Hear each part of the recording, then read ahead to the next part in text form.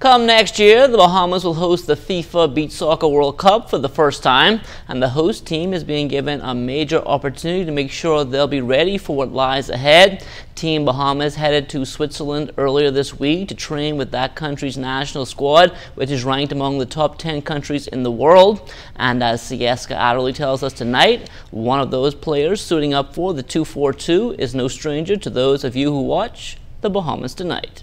Jared. His name and face is familiar as one of ZNS's news and sports personalities, but there's a whole other side to Jared Higgs. He has had a great love for soccer for most of his life, being introduced to the sport in the second grade. It's that love, passion, and dedication to the sport that has landed him a spot on the beach soccer traveling team. The team headed to Switzerland Monday for a six week training camp in preparation for competition at next year's FIFA World Beach Championships.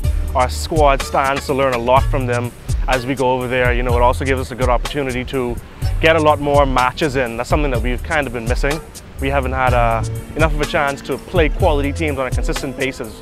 We train a lot, six days a week on the sand. So we've got uh, a lot of fitness, but I think that what we're missing right now is, you know, quality teams to play against, and going to Switzerland is going to provide us with that.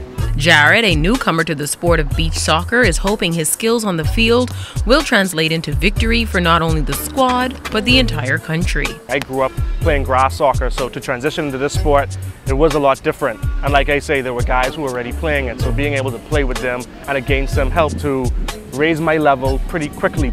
Some of my teammates will tell you I'm a passionate player. I am very committed. I think that's a part of the reason why I maybe lean toward the, the, the, defensive side of the game, keeping the ball out of our goal at all costs. Um, there's a lot of passion that goes into that. Jared admits there is tremendous pressure on the team. Still, he says they're up to the challenge because the talent is there. This is really a great day for soccer in the country. It's, it's going to do a lot of things to help to grow the sport and encourage young people to get involved with it. And with the squad's eyes set on the goal at hand, we here at ZNS will have our eyes on Jared because we couldn't be prouder of the All-Star striker. Sieska Adderley, ZNS Total Sport.